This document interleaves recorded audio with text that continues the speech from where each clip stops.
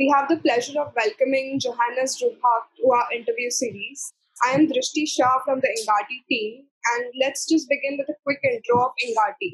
So, Engati is the world's leading open multilingual no-code chatbot platform, which is available across 14 channels with 25,000 bots created across 186 countries in every domain and use case. We run the Engati blog and the video channel, which receives up to 200,000 visitors annually. And now for a guest, uh, Dr. Drooghaag is an international coach and his interests lie in a vast range of topics from emotional competence, agile business, and leadership. He helps build competent teams and helps understand the limits of using the latest technologies to build an even better team. Welcome, Johannes, and we are really thrilled to have you here. Well, thank you. It's my pleasure as well. So, uh, we'll start with the questions that we have. So, what do you believe are the opportunities and challenges for technology today? And where do you see it evolving for business five years from now? Well, from my vantage point, um, and that comes from my background, that I focus on optimizing how people and technology collaborate in a safe manner the opportunity and the challenge are identical. The opportunity is to have people and individuals collaborate better and safer with technology. And, and that is also the challenge because we see that that is not yet the case. Technology is still too much, too far away from people to understand on the one hand. And on the other hand, yeah. there is a lot of um, misunderstanding about what that technology is actually doing. A lot of people still have the black box thinking. There is something somewhere and that does something, and I will wait and see. And that is the bridge we have to build that people understand what the technology does, how to use it in a safe manner, and then get better at doing their job or get better at supporting others or get better at supporting uh, providing services. And that should also be a company thought philosophy to provide better services by using better technology. Yeah. At the same time, make sure that we do that in a safe way. That's right. So challenges and opportunities, you know, go in parallel, you need to say. Exactly. And if we then look forward five years from now, my expectation is that we see the winners, the, the, the growers in the market that are either the so-called disruptors that come up with a solution that nobody else has and they can do that very fast or the existing companies who catch up with combining human potential with technical solutions and do that in a way that the people are actually supported and not confronted and, and that is my expectation for the next five years. That's why you will see the winners. We see something very interesting in the market. We have agile business development, we have agile methods, we have rapid deployment. And at the same time, we have cybersecurity, which basically needs you to have a big picture, long vision. And, and we see um, we see security officers being responsible for taking out those vulnerabilities one after the other and making sure that uh, the data and the services are protected. That's a long term activity. The agile method is much more focused on getting the results now as we need them today. The people who will win the digital transformation are the people who are capable of combining those two different, sometimes conflicting interests. And that's where you will see the winners in the next five years. So, where do you think we are standing right now in the bridge? Like, where is the gap now? Are we going to that stage or where are we standing right now?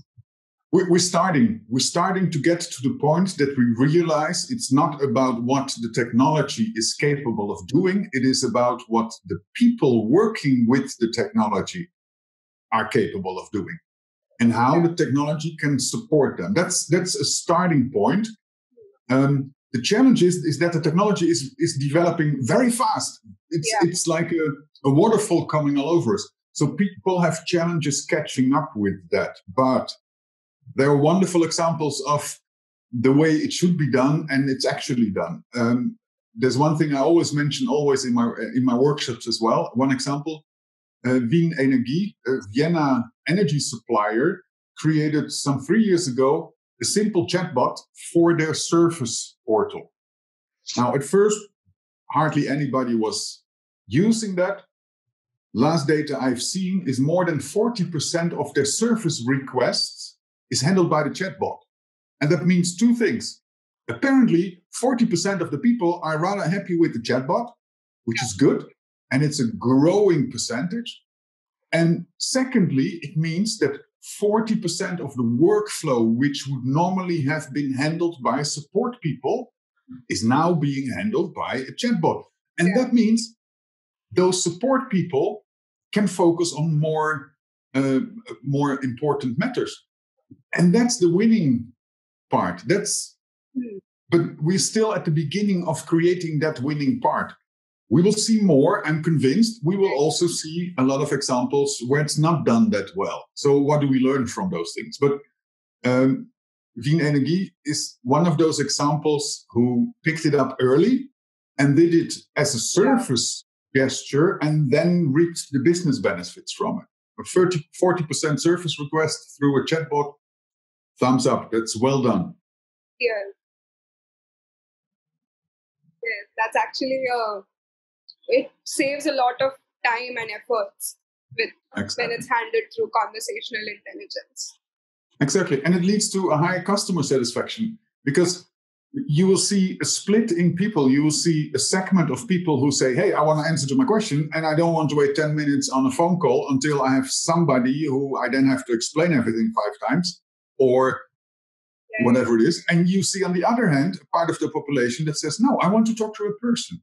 So the winners will be the one who can who can mix that, who can find that solution, and and you yeah. will see solutions that will say, well, you start with a chatbot. It will give you some smart questions and not just commercial stuff. Um, it will ask you some smart questions, and then it will say, hey, we cannot fix this. Do you want to talk to a person? Those will be solutions that we start seeing. So that can actually bridge the big gap that we have. Exactly, exactly. It's people, technology, technology, and people. And we cannot, and hopefully will never move away from that because otherwise people become useless. Yeah, definitely. So, uh, moving on to so with the constant developments in AI to automate the business, so how important is this combination of humans and technology, like you just mentioned? So, how important uh, the gap uh, you know the combination should be or the collaboration should be and where are we right now with that collaboration? Well that, that collaboration is is crucial and you see it um, when we when we think about office environments and we think think about standard services it becomes very clear to see how technology and ai and human beings can collaborate. But let's take it one step away from that and let's just look at a production facility, factory. with a lot of machines, and you will have machine operators, and you will have technical specialists, and you will have maintenance people, you will have supply chains.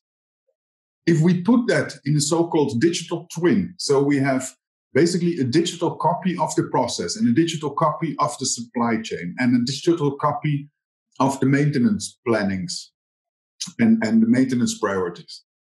and we put artificial intelligence in place and we put smart forecasting in place. But we also put smart analysis of what is actually happening in the facility at that moment during production, Industry 4.0. We can then reach a point, and there are some interesting pilots already happening. We can reach a point where the system operator, at the moment that a machine has an issue or is going to have an issue, even better, the machine operator gets a piece of information that will help the machine operator to prevent or to solve this problem without having to guess or going through all the step or push a lot of button. Yeah. Really focused on the information that the person needs at that moment to make a smart decision. Hmm. And what you will also see in the future is that artificial intelligence and machine learning will be the noise cancellation facility.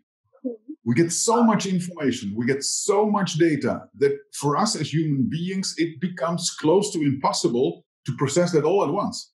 Right.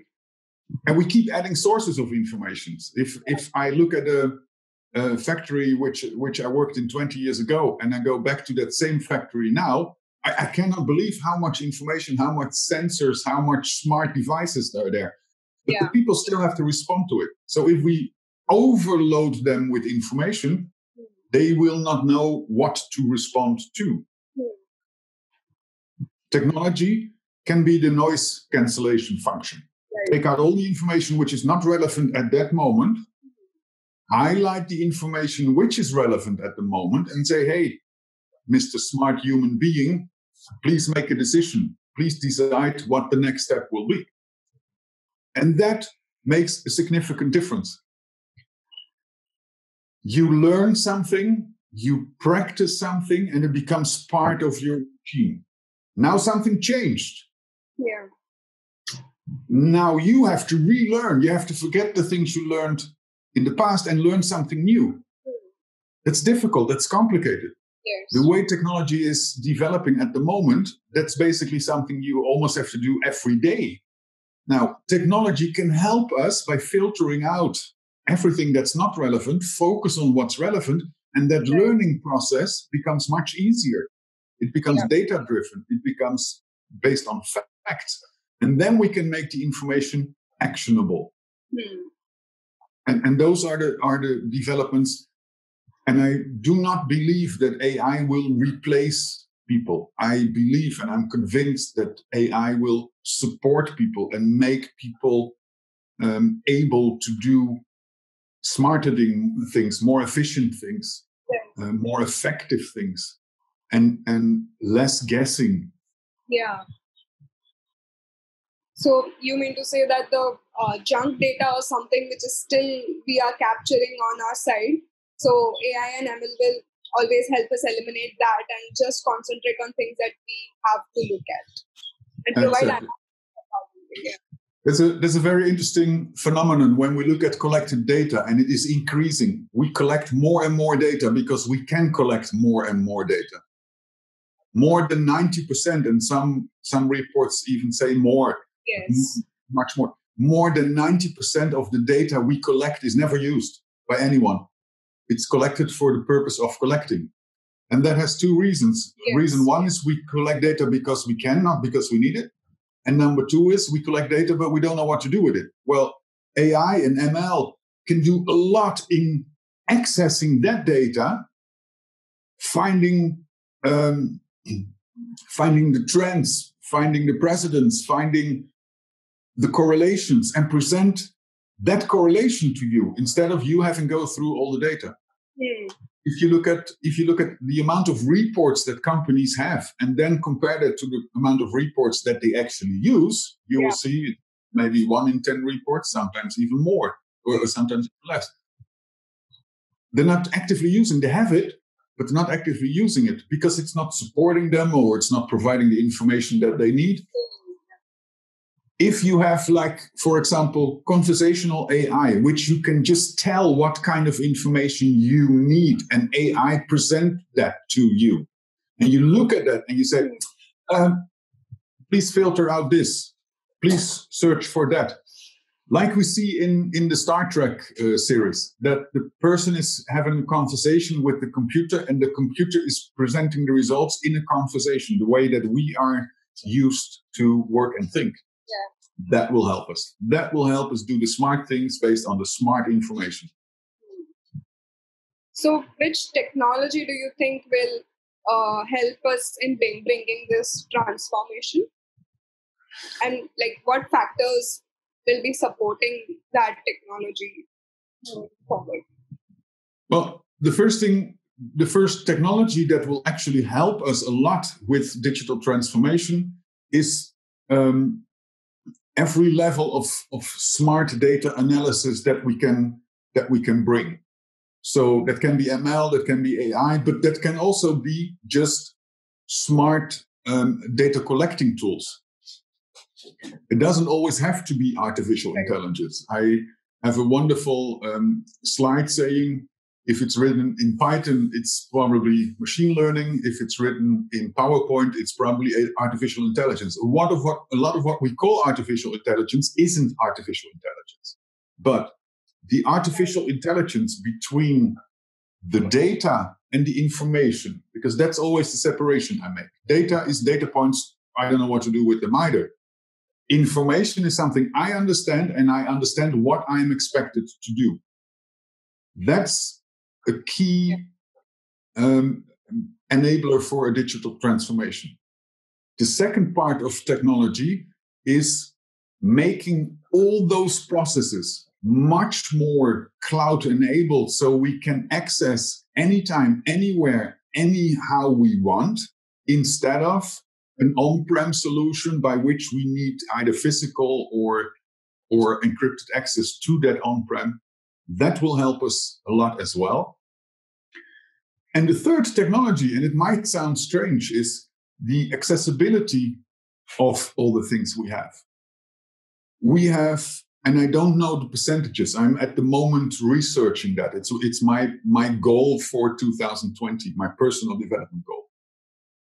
Um, there is a certain element of our population which doesn't have access in the same way that you and I have that, and that could be people with dis- disabilities. That could be people which do not have the digital connection in our uh, connected uh, society. How are they going to benefit? How are they going to be included in the way that we are moving forward so extremely fast, the way that we are doing today? Those are important questions. Um, I try to do that for myself by asking myself questions. Um, I'm 58 years old now. I need reading glasses. Okay, I learned to accept that. It's no longer that I can read everything without anything. I need aid to just read something. And I read a lot. I read even more than I write, and I write a lot. So reading is an important part of my life. And now I need an aid. I'm not going to say reading glasses is a disability. I don't mean that. What I mean is I already depend on a part of technology to do something that other people can do without that technology. Right. And then I try to impose that on other things in my in my analysis and asking questions. I, I ask my dear friend and mentor Deborah Ruh a lot of questions. She's specialized in this. So how can we make sure that everybody is involved and not just that happy selected group of people who don't need aid, who don't need help, who don't need everybody, everybody who is part of our society, everybody yeah. who has a right to enjoy the technology, who has a right to be a working person contributing, um, everybody who has the right to lead a normal life. And that's going to be a big challenge because we still, if, if we look at uh, all the new launches and all the new products, still a major focus on that group of people who don't need the aid and who do have uh, the digital connection and who do have access to anything we need. Yeah. So, uh, two questions on the two technologies that you told me. First thing is the cloud. So, um, there's still a you know kind of insecurity people have when you know shifting to cloud technologies mostly regarding uh, how will their data be used and if it is getting stored somewhere they do not trust the sources. So what what can be the measures to uh, you know have people shift to cloud especially in this pandemic that we are facing? It would have been really helpful when if they were using cloud uh, cloud as a technology so well, this is what we now see is we're being smacked literally in the face by one of the biggest mistakes we have made in technology in the past 20 years.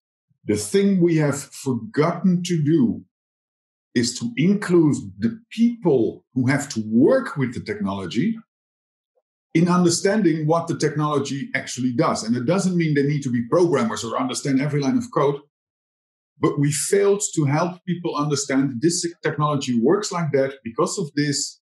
This is what we're going to achieve with this. This is why we want to do that. We focused on the technology and what it can do. So we have not involved the people working with it. And you see that in, in many examples. What I still see in a lot of companies is that they have a compliance related annual check. Yeah. And they use that as training, but it isn't training. It's just a compliance form that they can put on the file that if there is an insurance claim or if the auditor comes by, yes, we did this. The second thing is that the people focus on what they have to do and they try to do what they have to do as good as they can. And they use different tools for that. It could be a, a spreadsheet, could be an ERP system, anything. But that focus is on what they must do with it. Hmm. We don't respond as long as they do their tasks. But we keep refreshing the tools and we keep adding new tools. And we do expect the people to keep doing their job. And as long as they do their job, we're not responding. What we failed to do is make them aware of hey, um, if you get an email and we can talk about chat programs and, and social media and all the other platforms as long as we want. 93% of corporate corporation uh, communication is email. We failed to explain the basics of social engineering to the people who work with email social engineering is still the biggest threat. And we tell people, push this button, then that email will go there. We should, and you can use gamification for that. You, you should really engage people actively in, in understanding what is good and what's not good, what is a risk and what is not a risk. How should you act when you think there is a risk? That's what we fail to do. And therefore, we have created an environment in which people are reluctant. And, and they hear all kinds of stories about private data and data breaches. And so when you then say, oh, well, tomorrow you go to the cloud, uh, people will say, okay, what's that? Or they will, um, after all the Facebook data breaches and, and, and, and um, I mean, the list is too long. We could spend hours just going through the data breaches of 2020, and it's only April. So people will also be concerned about that. And why are people concerned? Well, in most cases, they are concerned because they don't understand, or they get so much information that they don't know what to believe anymore. And what we should do from this pandemic, what we should learn from this pandemic is educate people in a proactive manner and not by flow overflowing them with some with some documentation or some powerpoints or educate them in an involved manner gamification is great. Um, focus on what people are working with and make sure that they have the knowledge to do that in the same safe way and an optimal way. Yeah. Focus on what people need to do their jobs, right? Um, why are we not focusing on the safety aspects of a cloud platform? And explaining people what the safety features of that cloud platform are. Those are questions we should ask ourselves and, and fix that very fast.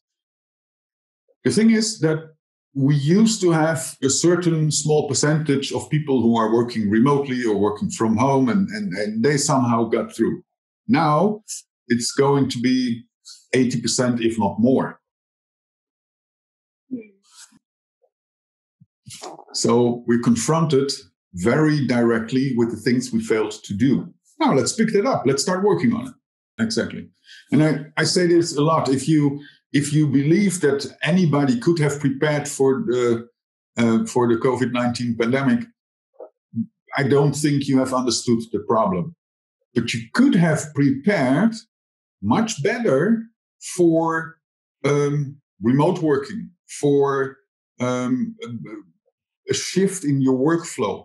It's very interesting to see how many companies have bought over the last years instead of desktop PCs, notebooks for their employees. And those notebooks are in docking station and they stay there 24 7 because we could have prepared ourselves, our infrastructure, and our people much better for the moment where they just take that notebook with them.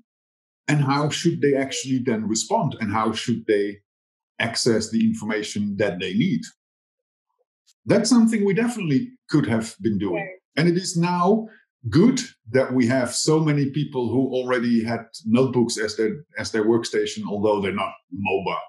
So it's it's a good uh, it's a good fact. It helps us to reduce the impact, but we could have prepared better in some ways. And the biggest gap in preparation is preparing the people. And yeah, if you have to do that under pressure and at the same time fix your infrastructure and at the same time uh, prepare your your access portals and your VPN uh, connections and whatever, yeah, then it's uh, a bit too late. Yeah, yeah, and uh, also the second thing that you mentioned that accessibility to everybody and not to a selected group of people who know technology or who are connected to technology. So, what what can be the measures to you know reach out to the people or to the more common masses other than just people who are connected to technology? Like how can they have access to this?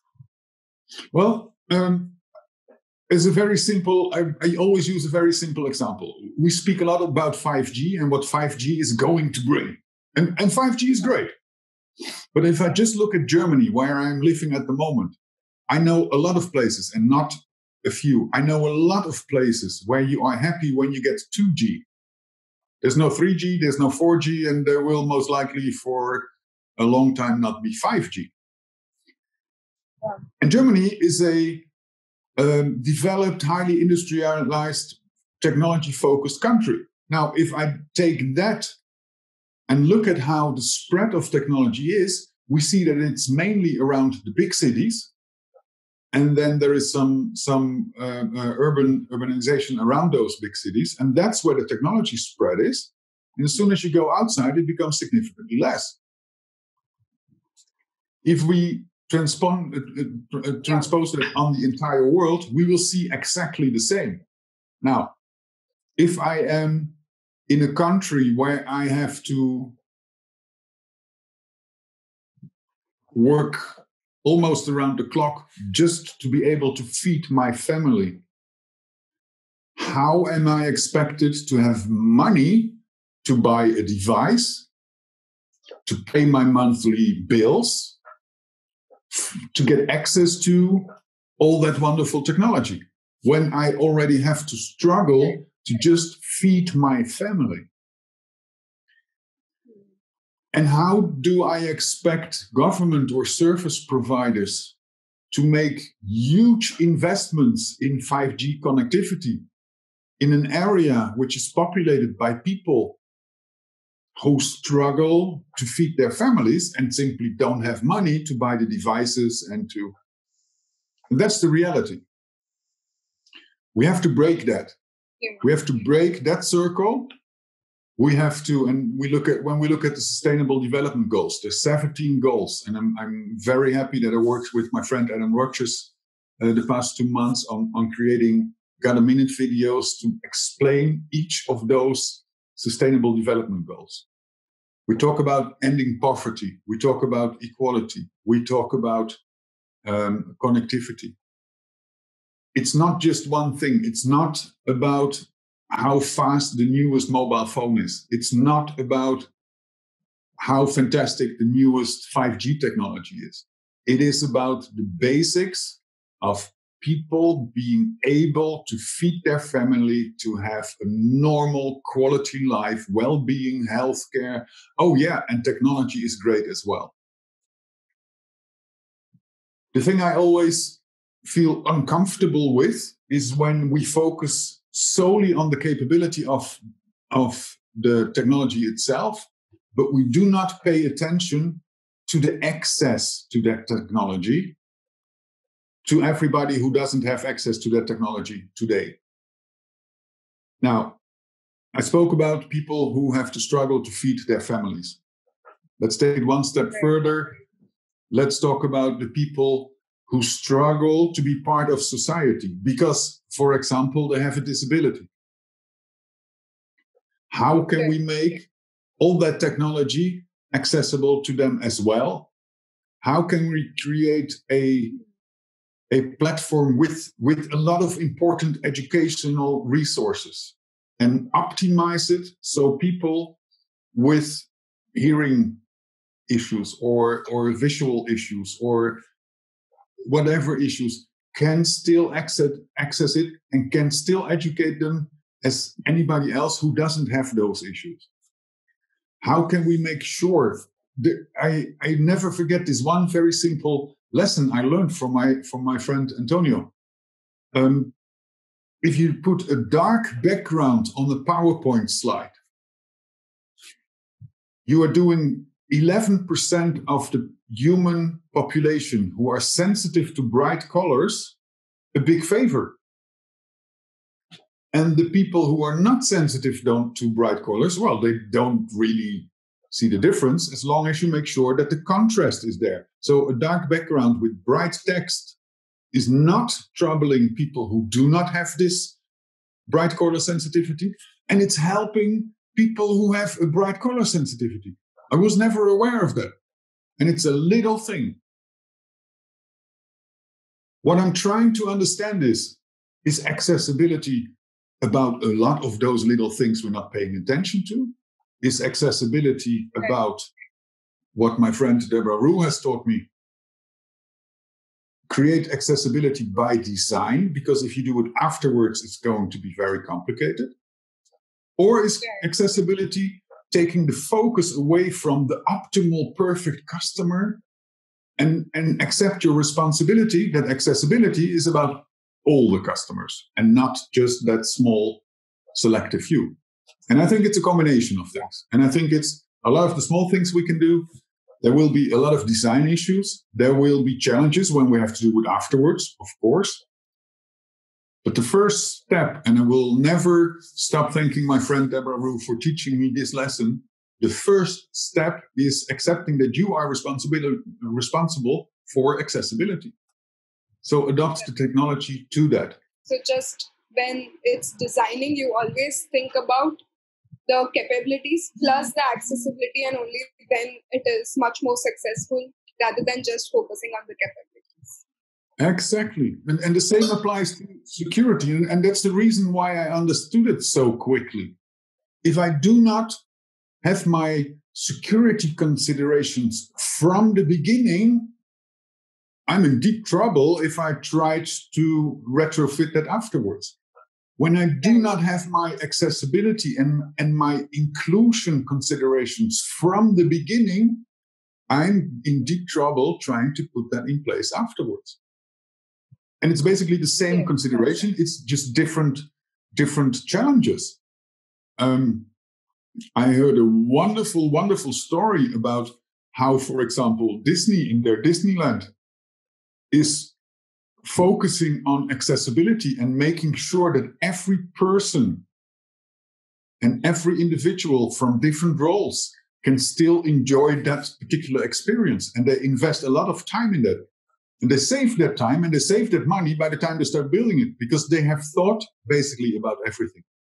And they go through one session after the other until they are sure that a person in a wheelchair still has the opportunity to, uh, to enjoy this. And they, they, they think about other things. They say, hey, there's a family coming to visit us. Father, mother, two children. Great. The mother is pregnant. So she cannot probably go on this or this or this. What alternatives do we have? And they very actively design and they think about that. So they make sure that um, all their potential customers can have a wonderful experience. And that's the way it should be done. Yeah. So, do you think um, now that we have this uh, pandemic, so customer experience would be, you know, hindered at a greater level? Well, customer experience has always been important, but it has not made the decisive uh, change yet, right? In, in many cases, you are still, um, there is something like loyalty. You stick with the same supplier, although you may not have had the best experiences. And there is still price, which for many people is more important than the actual customer experience. What we see now is because we have such a sh- sudden shift in our society, people look at it in a different way. Um, I'm not going to mention yeah. names, but there have been a couple of pe- companies with a rather negative exposure in the press lately about firing people, uh, asking for bailouts, although they have fired people. So showing that they are not really part of society in the way that society would like them to be part of it. On the other hand, yeah. we saw companies with extremely good exposure by, and I want to name a few of those. Um, Tesla under Elon Musk, who is always doing the crazy things. And he's always doing the things that nobody thinks is possible and nobody thinks is smart. I, on many occasions, when he comes up with something, I think, okay, what was he thinking? But two weeks later, I understand what he was thinking. Yeah. We have a crisis at the moment. What does Elon Musk do? He produces ventilators and he gives them out. He could have made profit on it. He could have, he doesn't. Uh, Formula One AMG team. Those engineers, I think they're one of the best engineering teams on the planet. And, and they normally focus on something which I find very entertaining, Formula One driving, but it's not really contributing to society. What did they do in this crisis? Yeah. They design ventilators. Those companies have put themselves now in a perspective away from the customer experience, but as a society driven organization. Customer experience will be influenced by that because customer experience we focus a lot on the technology but in reality it's an emotional aspect. How do i feel about that company? How do i feel about their services? How do i feel about their uh, platform? How do i feel about what they deliver? So those have suddenly added a positive emotion to the customer experience and that will last a very long time there are yeah. um, suddenly heroes of society who may not have the best platforms and the best looking technology, but they're there. And people notice that, and that will influence the emotion. Mm. If they are capable to improve in their portals, in their services, also the customer experience, oh man, the rest is going to have a hard time catching up with them because they will be a decade ahead of of, of the customer yeah, experience. just because of the emotional value. I do a wonderful workshop about um, how we as human beings influence our understanding of facts by our own emotions. It's called See the Cow. It's I recommend it to anybody because it will open your eyes on how your own emotions influence what you believe is true or not. And those this is the moment where where companies and people can side, can show what they're really made of and that influences uh, customer experience from my perspective in a, in a much higher um, much higher ratio than the actual technology behind it. Now, back to the original concept of customer experience. What matters is how do I feel during and after doing business with you? Do I feel that you respond to me? Hey, great.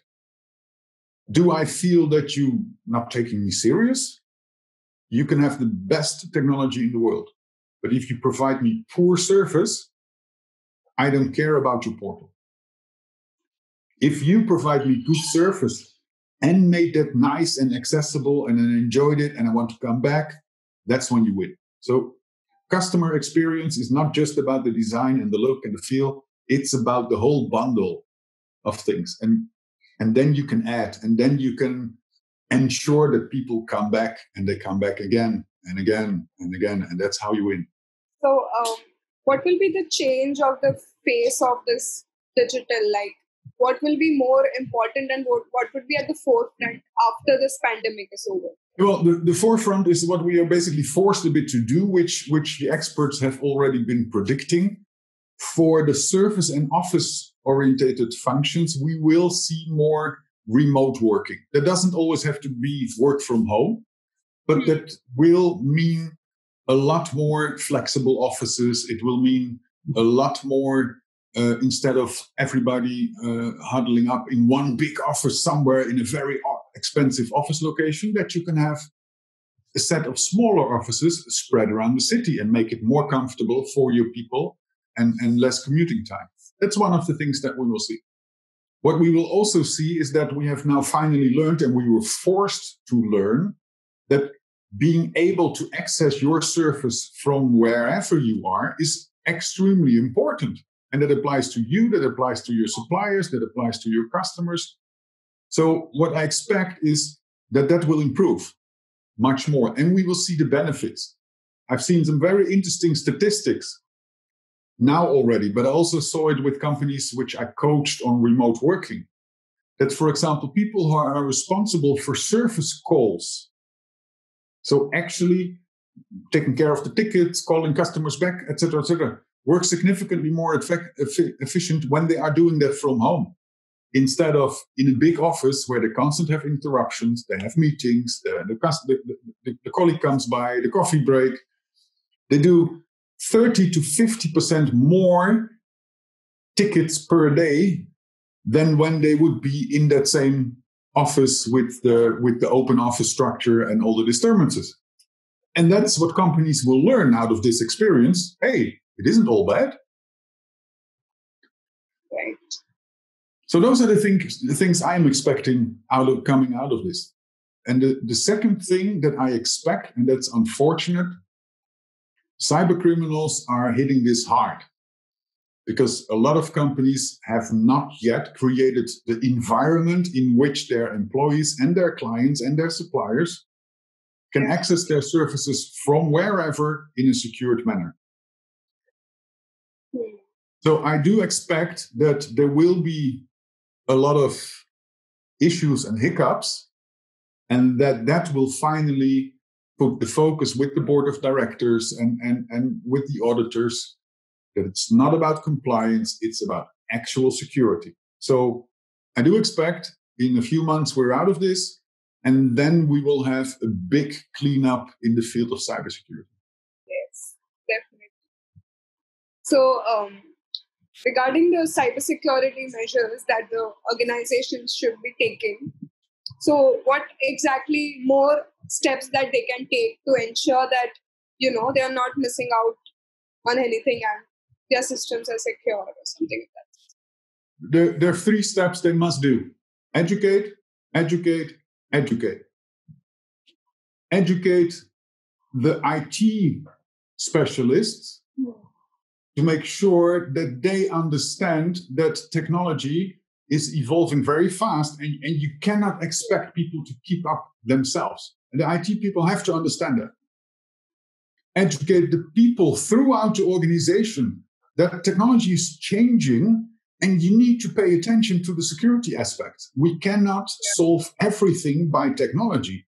And unfortunately, we as IT people have been pretending that we can solve everything by technology. It's not. It's 80 to 90% of the issues are human issues and not technology. Yeah. And the third level of education is the understanding that there are certain steps you must do because of your responsibility. If I buy a car, I expect this, the, the, manufacturer of my car to put safety features in it. And, and because I have, I, I have a family, I even buy additional safety features for that car. But that doesn't change the fact that I still have to re- drive responsible. Right. Because I have an airbag and an ABS and, and whatever kind of features in my car doesn't allow me to drive 250 miles an hour downtown. Nobody in his right mind would say, yeah, that's great because you have the technology in place. This is the third level of education that, and that is not just people, that's not just companies, that's all of us. No matter how great technology yeah. is or isn't, it starts with our own responsible behavior. Now, what is responsible behavior? We yeah. can talk a lot about that, but we have to make that accessible. That's right. Yeah, it's like uh, there should be a balance, and it, and the key will always be humans, and that is why you know AI or ML or any technology will not be able to replace humans because that's where we have to stand in. Yeah. Exactly. There, there, are basic things. If you look at business management, you look at risk acceptance, you look at risk appetite. Is a board of directors, is an executive suite willing to take a certain risk? Yes or no? Under which parameters are they willing to take that risk? Yes or no?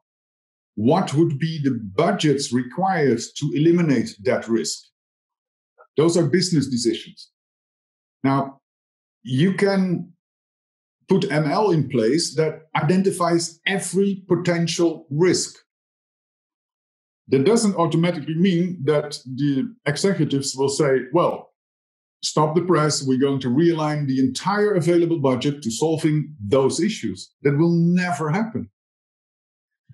So AI, ML, and all the technology we'll have can certainly help us to solve some issues. It can certainly help us to identify some issues. In many cases, due to the amount of information, much faster than human beings and, and analysts can do. Right but it will never replace the decision making process when it comes to the budgets available to a company.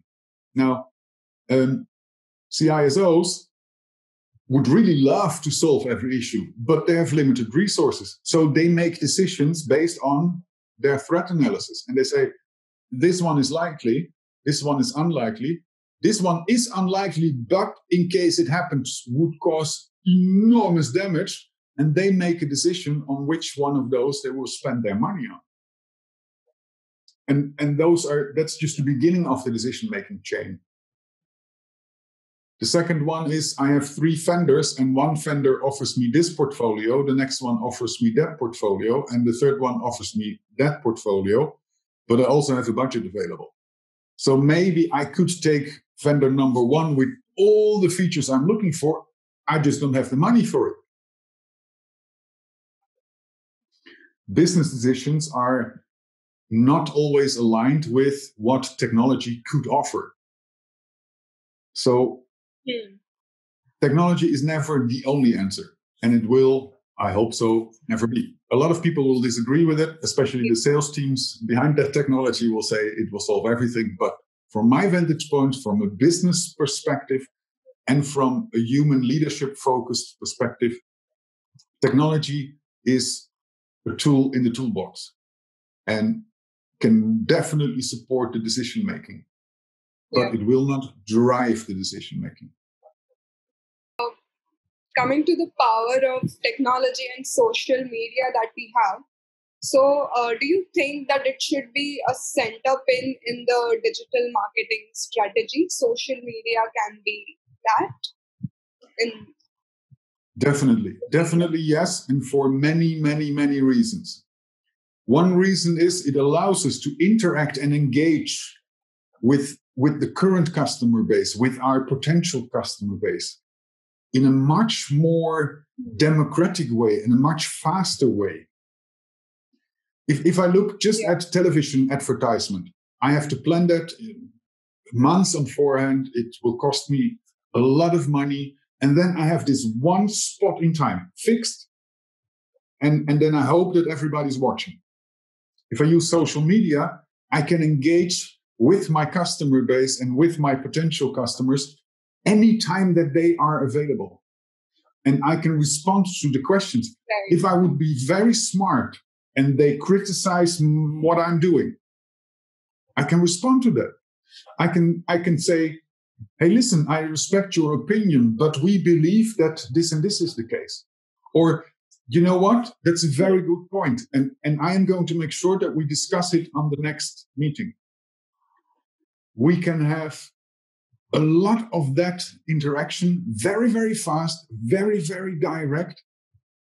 And we can find what is happening in the market, what is what is important to our customers by just engaging with them. Yeah.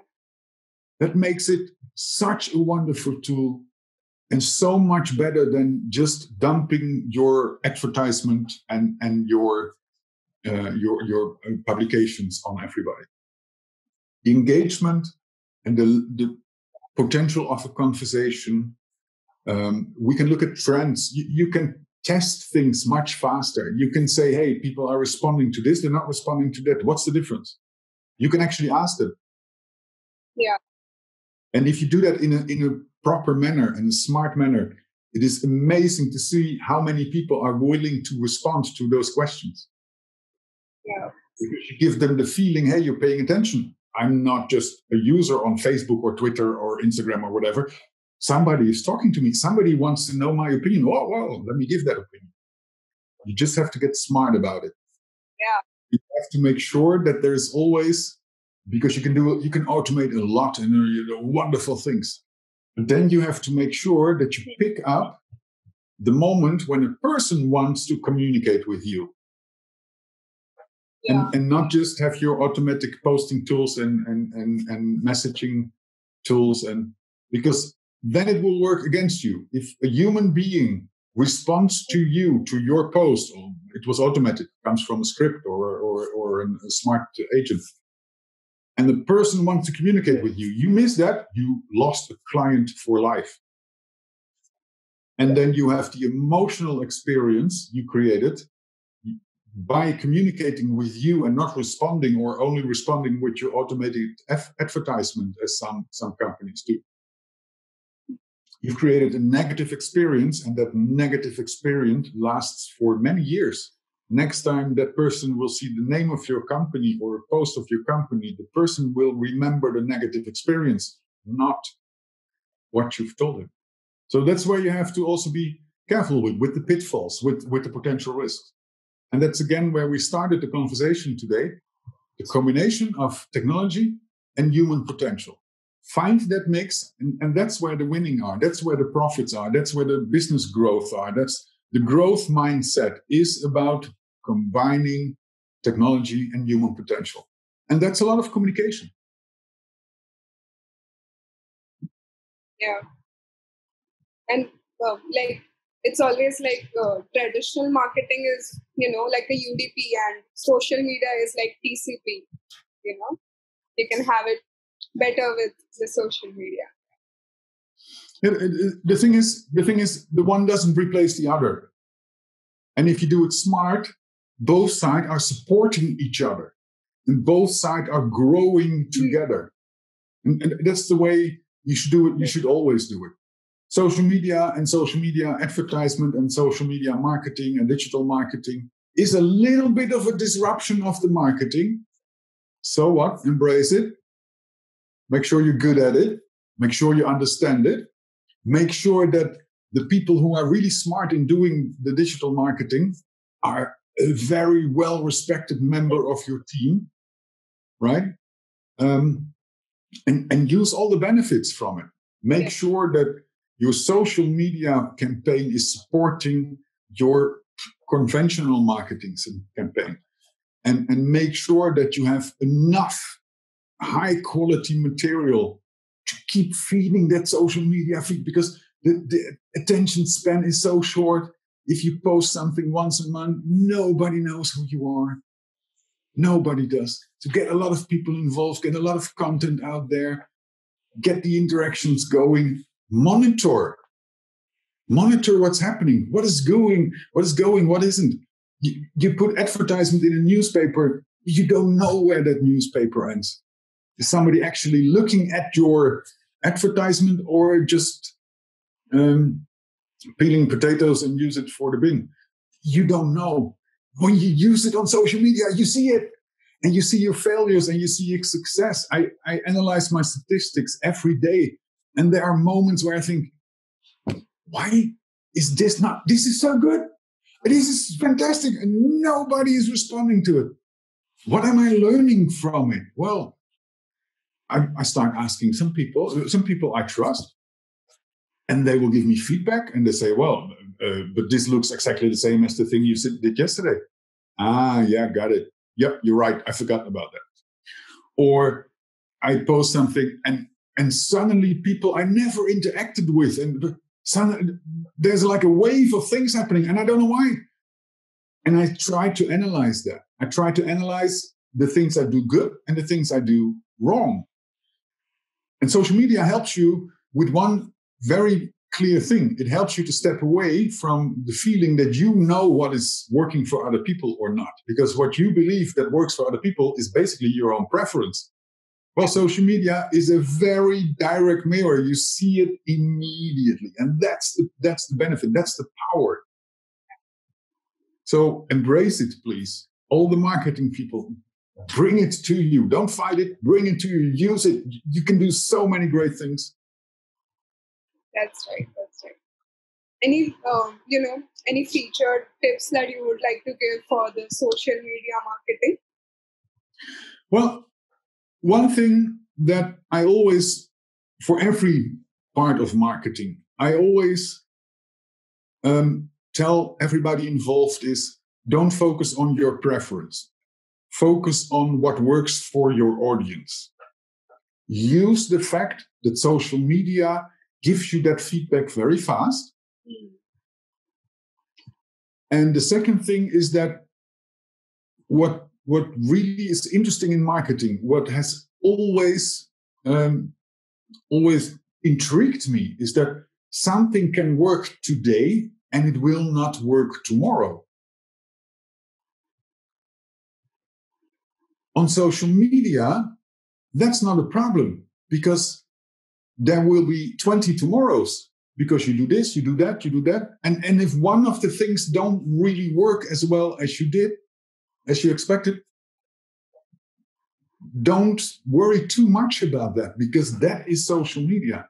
Some things will, due to the algorithms, you, you hit a certain threshold and suddenly it's spread around the, the platform. And, and with something similar, which you thought it's going to be fantastic, and you do the next day, you don't hit that threshold and you're not spread around, around the platform. Don't see it as a problem. Don't think that what works now will work again. Make the best of each and every individual thing you post. Make sure that you have something for every part of the audience. And don't focus too much on the popularity of something. Because I learned that many, many years ago, and it had nothing to do with digital marketing because there were no, was no social media. There wasn't even internet. And now I'm starting to feel very old, but I learned it many, many years ago. It doesn't matter when 100,000 people heard you when the one person that is making the decision didn't hear you. So that also means if only 10 people heard you, what you had to say, but the one person who is making that decision actually heard what you had to say and say, hey, that's smart. I want to talk to that person. That's when you reached your goal. It isn't about the views, the likes, the tweets, the posts. That's not important. Reaching your target decision maker, reaching the person who will influence the decision making by making the proposal. That is what matters. Move away from the popularity counts. Yeah.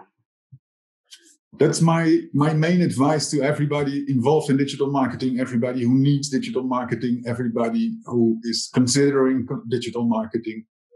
What matters is the success of reaching the people you want to communicate with and not the people who seen it but are actually not interested. Yeah, that's right.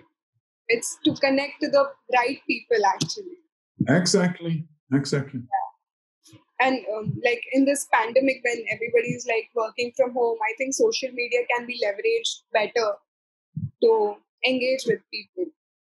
Definitely, definitely, because two things two things happening. Besides people working from home, they're also having their breaks at home. And if you now have an entertaining message or a message that captivates them or a message that helps them understand something, a message that shows them, hey, there's the sunshine at the end of the tunnel. No matter what the message is, when that message gets attention during the breaks or or whatever that happens, you've reached much more. And if you do that consistency consistently, you reach much more for a long period of time that you than you could have done with with any other kind of, of advertisement or with any other kind of marketing. So use this opportunity. And I never want to call this pandemic an opportunity because it's horrible. Yeah. But it is a situation we are confronted with. Mm. It's a situation we have to deal with. So now focus on what you can do and how you can contribute. That's right. Just make the best out of it. Yeah. Exactly. Any other uh, sound bites you would like to, you know, leave for our viewers and listeners? Well, um, there are a couple of things which which are very very important to me, and and we spoke about uh, inclusion, we spoke about accessibility. There's one group who's using the internet significantly more intensive and significantly more curious than anybody else children.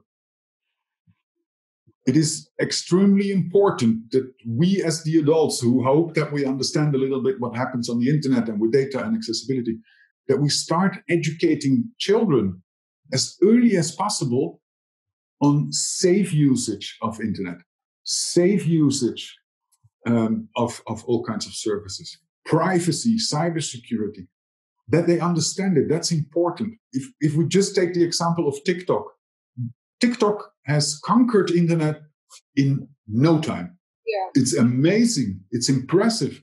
Then there were all kinds of, oh, but it's Chinese and, and, and oh, security. What nobody focused on, and that's the horrible thing, what nobody focused on is privacy. Kids are showing themselves to everybody. What were we thinking? Why are we not educating those kids on, hey, listen, you can do this, but please do not do that? I have a program, it's on my website, um, Internet Safety for Kids. If you go to johannesdrooghaag.com, you will find it in the menu. It's two 10 minute videos. The first video is for the parents that they learn to understand what they should focus on. And the second video is for the kids, but not for the kids to watch themselves. No, to watch it together with the parents so the communication starts. So this is my one of my highly important topics because I have children myself and I was also faced with the challenge. Hey, I think I understand what internet does, but my kids don't. And I see them use all kinds of things. And so that's the reason why I started developing it. The second thing is uh, what we discussed today is accessibility and inclusion. Please, everybody, stop focusing on your optimal potential customer base and start focusing on your entire customer base. And and the third thing, and this is this is my living message throughout my career. Technology is great when we use it in the right way. And to use it in the right way, you need to help people, human beings like all of us, understand how to use it in the right way. And we need to put more focus on that. The technology is there to help us, not to replace us. It's not there to do the things that we are now being paid for. It is there to help us have a better life, to do things more efficient, to provide better services. And that will only be possible if we combine the human potential with technology. Yeah. We have to make sure that the people are part of the equation. That will never change, I hope. Yeah, that is actually, you know, the need of the hour, these things are. With, with developing, everybody should be developing and not just a section of the society. Exactly, exactly. And and that applies to that applies to people who are currently living in countries where they do not have everything that that the others have. Yeah. Uh, that applies to um, people living in countries with conflicts. That applies to uh, people living in countries where not everybody is part of the happy few. That applies to people who are born with disabilities or people who, who get disabilities later in life. That applies to men and women. Um, we still have a pay gap. We still have have all kinds of. Uh, I allegedly belong to the happy few. I'm I'm male. I'm 58 and I'm white. That's not the way my mother raised me, and it is it is ridiculous, but it is reality of life. Well, I'm I'm not have, I'm not having the feeling that I have too many benefits out of it, but